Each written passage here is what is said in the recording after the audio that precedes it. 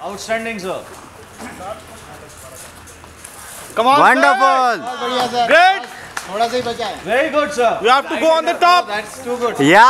first one to reach there right leg good sir breathe sir breathe आराम से no hurry left leg से रेड हो left leg